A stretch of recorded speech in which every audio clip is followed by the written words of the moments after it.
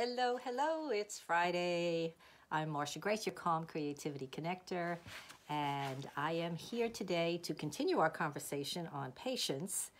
And today we're talking about what patience has to do with our well being. What does it have to do with it? well, I've been actually I've been talking about that a lot the last few weeks, but I want to really focus in on uh, some of the um, really crucial aspects of how patience affects how we feel, how we how we uh, how healthy we are, and so many other things. So, you know, because we're busy women, and we, you know what, we don't have time. We don't have time for sickness, right? We don't have time. We don't just to lay around and I don't know, eat bonbons, right? Definitely, you don't want to eat bonbons.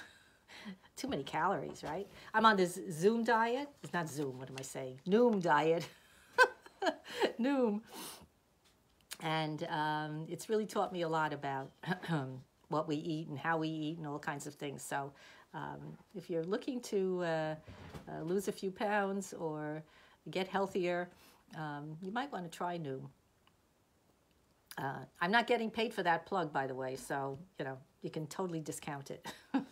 anyway, um, so so it's crucial for us anyway to take care of ourselves, right? We have to take care of ourselves because if we don't take care, if I don't take care of me, who's going to do it? Yeah, and then if I'm not in good shape, how can I take care of anybody else really? So that's what my standing uh, argument always is for why I continue to talk on and on and on about um, about our uh, being able to take care of ourselves uh, initially so that we can then go out and do what we're met, what we're here to do because we're we're here to offer uh, our expertise our compassion our love to the community that we serve right? Whether as parents uh, children of parents uh, whether we're bosses uh, you know it doesn't matter.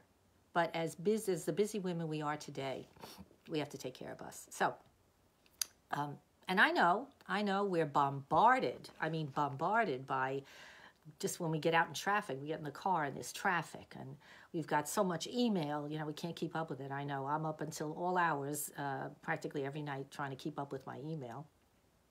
Um, we may have an upcoming meeting we're a little concerned about, or a, um, you know, we have to go somewhere and and we're a little nervous, uh, or maybe it's a toxic relationship that that uh, we really need to get out of and don't know how. So that can be incredibly stressful, right?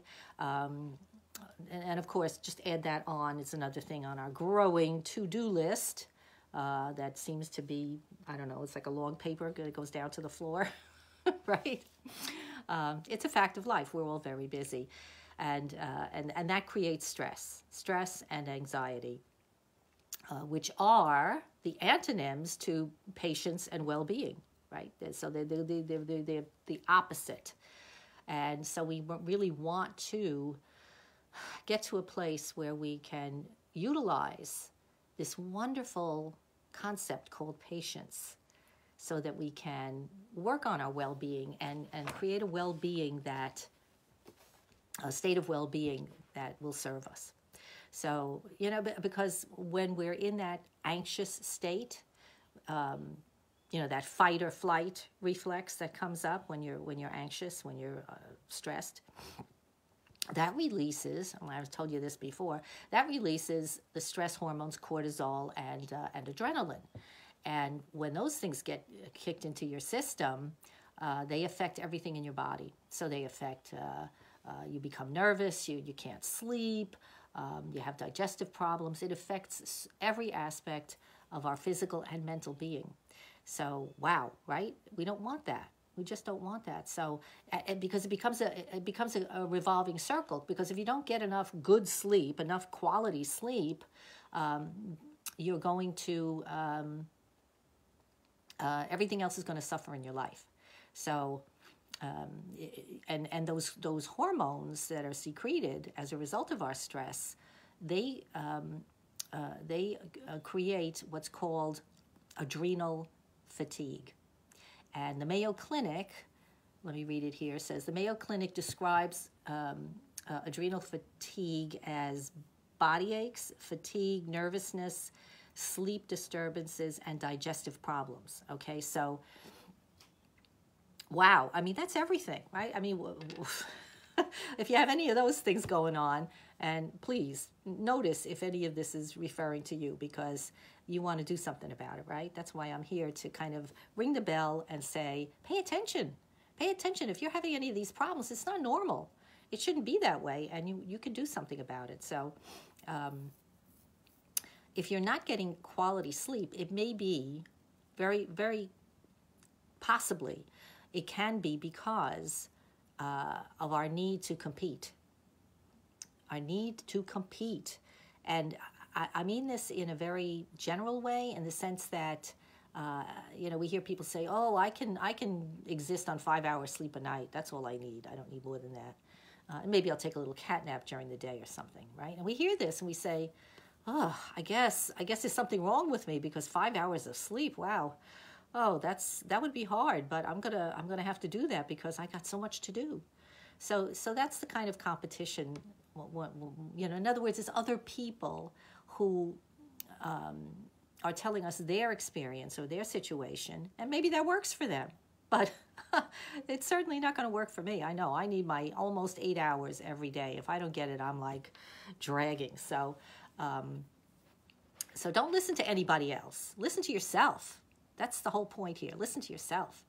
Um, because, uh, um, you know, another thing that happens as a result of, uh, of not getting sleep, or, or, the reason why we don't get enough sleep, is because um, we have this need for instant gratification right? Uh, you know, we're, we're rushing around. Oh, I have to get this done, uh, and it has to happen yesterday, right? uh, because if it happens tomorrow, it's already too late. Well, wow. I mean, what pressure we put on ourselves. Is that fair? You know, that's not really fair. You, know, you don't want to do that to yourself. But again, the competition and you know those other people all doing the same thing. They're all rushing around trying to get so many things done, and and uh, I've got to do one more video. I've got to read one more article. I, I, whatever it is, you know, uh, it's just constant, constant, constant. So um, so all of these things lead to a lot of physical problems. And, and, and check yourself out. See if any of these things, let me see here, what have I got on my list, um, can, can, you might be having issues with because stress affects your microbiome. You know this, right? That's your, your gut, right? What's going on in the belly. And the belly is called the second brain today. I mean, that's, that's an expression that's used, which when I first heard it, I said, like, what? That doesn't make sense. But uh, if you study it, if you read up about it, and I, I strongly uh, urge you to do so, uh, you'll be amazed at what you'll find out. Well, anyway, so our gut, our second brain, um, if it's not, uh, if it's getting, well, if those hormones are kicking in, it's going to cause havoc in there, and it's going to lead to digestive issues, uh, maybe even chronic disease like uh, IBS um, or at least constipation and bloating. Well, that's no fun, right? so, so, so again, stress affects the whole body system, everything, and your mental state. Needless to say, too, because when you um, when these hormones throw your your uh, microbiome off, uh, and you're secreting all these hormones that shouldn't you don't want they don't want it's going to cause you to be it's going to cause to it's going to affect your mood. Yeah it's going to and uh, and there you go. So your relationships suffer. Uh, it, it's not a good place to be. So i really hope that you will consider these things. If you're having any of these symptoms at all you know please please please please uh, pay attention to your body and uh, do something about it you know find find whatever it is you need to do to, uh, to improve your diet, get that sleep, because that sleep, uh, sleep restores your body.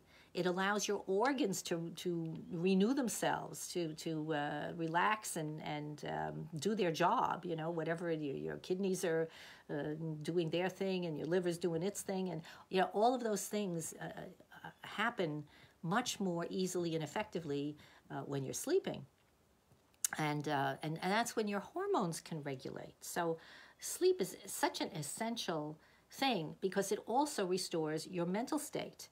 Uh, we know that everybody needs REM sleep, right? You need your REM sleep uh, that dream state to to um, allow the thoughts of the day, whatever happened during your day, to allow yourself to process them so that so that you can um, uh, maybe come up with ideas. You know, you want to come the next morning. You'll wake up and you'll say, "Oh yeah, I could do this about that." You know, whatever it is. Uh, I, I um, uh, that's the yeah. I have the answer to that issue I had a problem with yesterday, because you're getting that sleep that's allowing your brain to process the issues that it's going through. So I can't I can't say enough about the importance of sleep. So again, that's that's what you want to do, um, and it allows that gut to renew itself, regulate the hormones in it, uh, get your digestive tract working, um, you know, like clockwork, right? That's what you want. So, all right. Well, so I wanted to um, just make sure you you get this message that I'm giving today that being rushed or stressed, um, uh, it, being impatient, right? Being impatient because we're talking about patience, um, and suffering from the results of that impatience uh, will cause you sleep and and um, digestive issues, mental issues. Uh, and do do really awful harm to your to your mind and your body. So I hope you see why patience has everything to do with your well being, right? Everything. All right, with those words, I want to wish you a happy day and a happy weekend coming up uh, and a week ahead. And please remember, everything begins with a thought. So watch those thoughts. And when you find one that you don't like, tell it to go home, tell it to go away. and enjoy yourself now. Bye bye. See you next time.